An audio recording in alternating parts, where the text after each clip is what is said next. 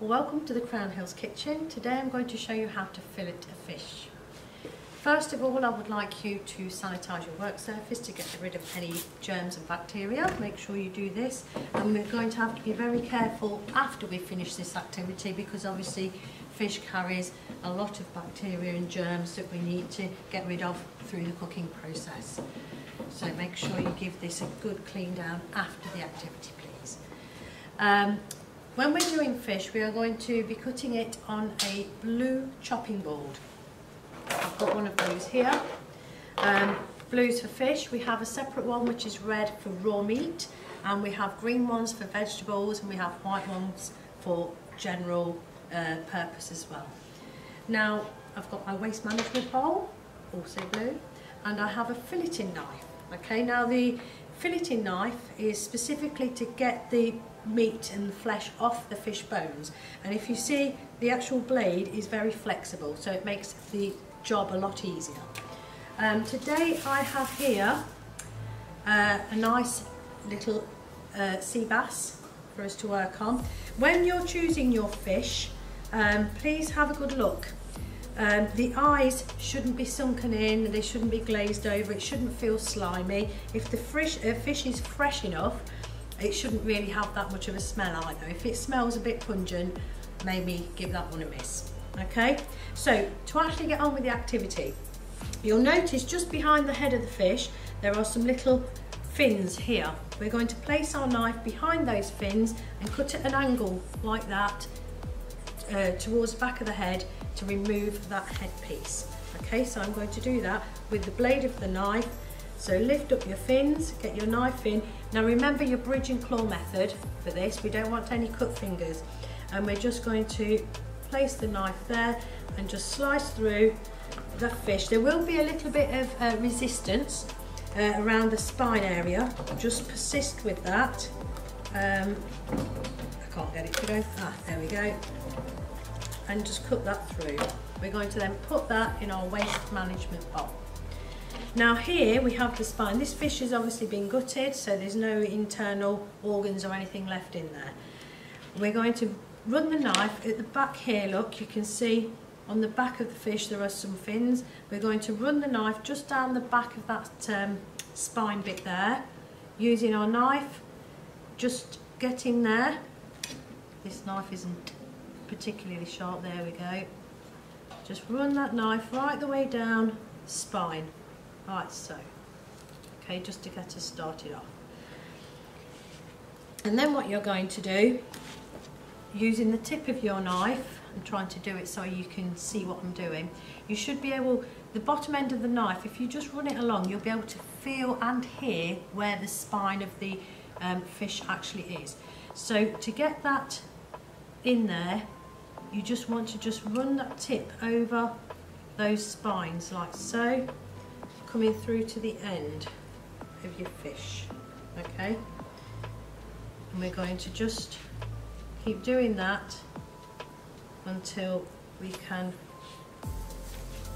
get in there. Can't quite get my knife in there. There we go we're going to turn that over. Do it this way. The, you may find that once you've filleted your fish some of the little bones may remain in there. You can pull those out with some tweezers if you've got some of those to hand or it may be easier to remove them after you've actually cooked the fish. We're nearly there.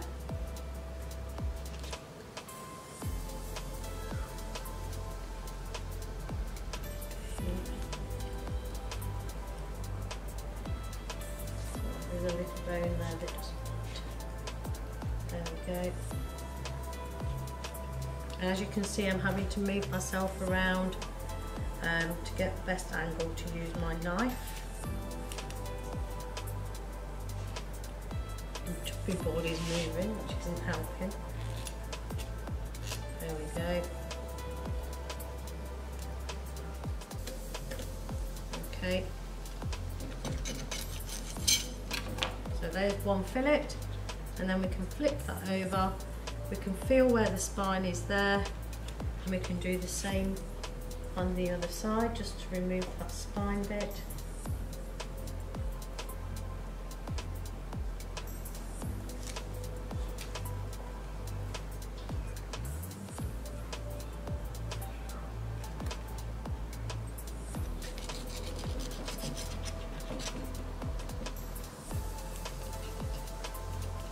keep your knife nice and flat along the level with the um, surface of your chopping board.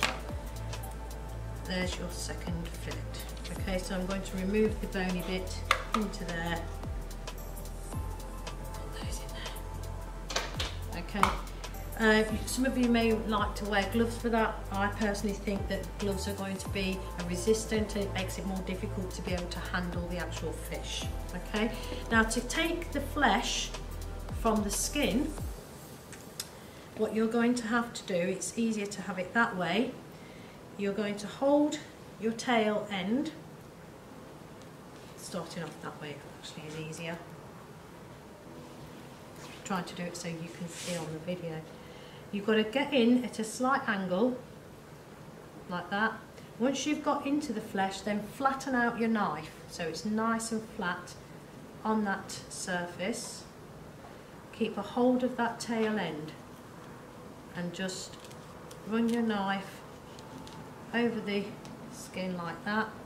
You can see there, look, the skin and the flesh, okay?